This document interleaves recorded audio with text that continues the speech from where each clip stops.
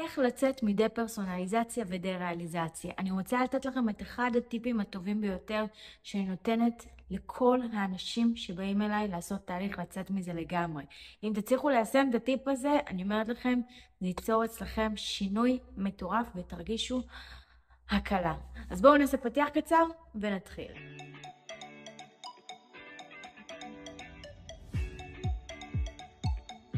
שלום וברוכים השבים לערוץ היוטיוב שלי, אני בר הדדי ואני מאמנת להתמודדות עם חרדה, דיכאון, דה-פרסונליזציה ודה-ריאליזציה. ובסרטון הזה אני רוצה לתת לכם טיפ מושלם שאני נותנת לכל מי שבא אליי לתהליך שעוזר לצאת מהמצב הזה של דה-פרסונליזציה ודה-ריאליזציה, ממש יוצר הקלה בתסמינים. אז כמו שאתם יודעים, בעצם כשאנחנו חושבים על הניתוק, על הדה-פרסונליזציה ועל הדה-ריאליזציה, אנחנו מרגישים הרבה יותר מנותקים, אנחנו פתאום ממש מרגישים את זה הרבה יותר חזק. אנחנו גם מרגישים את זה לאורך היום, אבל ברגע שאנחנו חושבים על זה, אז אנחנו מרגישים את זה הרבה יותר.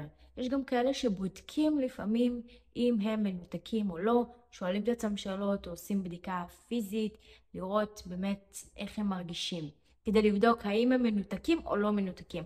ותמיד התשובה היא כן, בגלל שאנחנו בלחץ, אנחנו גם חושבים על זה, ואז אנחנו מרגישים מנותקים שוב.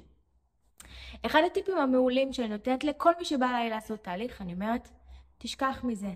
הבעיה שקשה לשכוח, אי אפשר לבטל משהו, פשוט להגיד זהו, אני לא חושב על זה יותר. זו הבעייתיות, רוב הטיפים שאנחנו רואים מהאנשים שיצאו מזה, אומרים לך, תפסיק להתעסק בזה, שחרר, נכון? אבל קשה לשחרר, זה בלתי אפשרי. אחד הטיפים שאני נותנת, אני אומרת, תחיה כאילו אין לך את זה, ומעולם לא היה לך את זה.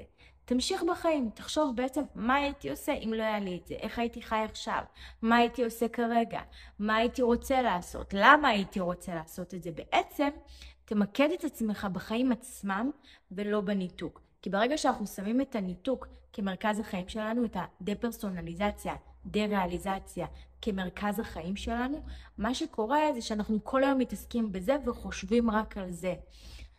ואז אנחנו כל הזמן נרגיש את זה, אנחנו לא נוכל לשחרר את זה, אנחנו לא נוכל באמת לחיות את החיים שלנו, להרגיש שחזרנו לעצמנו, שחזרנו לחיות רגיל, ואז גם עם הזמן אנחנו כבר לא נזכור איך זה לחיות בלי זה, כי זה ממש יהפוך להיות חלק מאוד גדול מהחיים שלנו. ולכן, מה שאני ממליצה זה לחזור לחיות רגיל, כאילו אין את זה, לא להתייחס לזה, לא להתעסק בזה, להמשיך בחיים רגיל, וכמה שיותר להשתדל בעצם לחיות כאילו לא היה לכם את זה מעולם.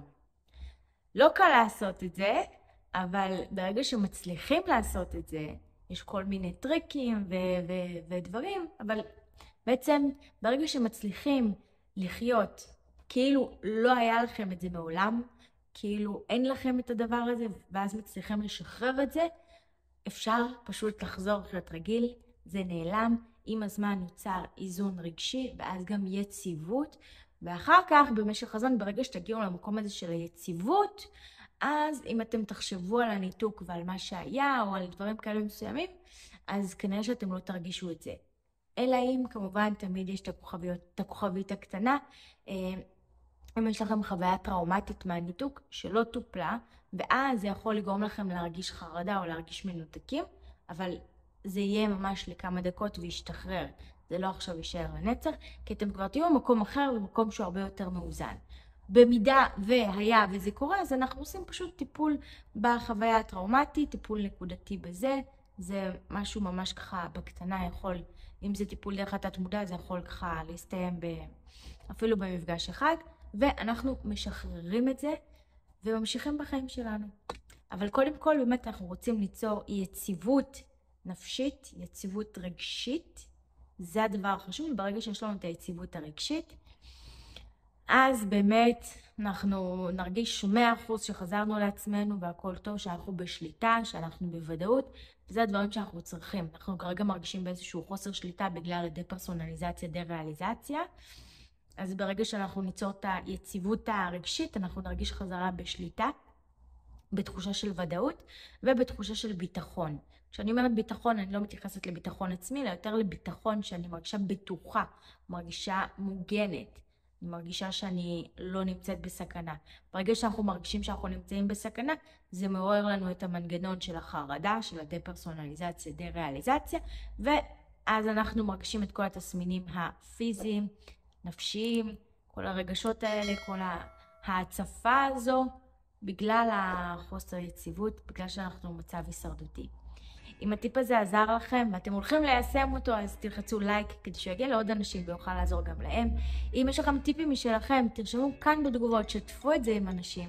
ואם עדיין לא לחצתם להירשם כמנוי, לחצו עכשיו להירשם כמנוי, וניפגש בסרטון הבא. ביי!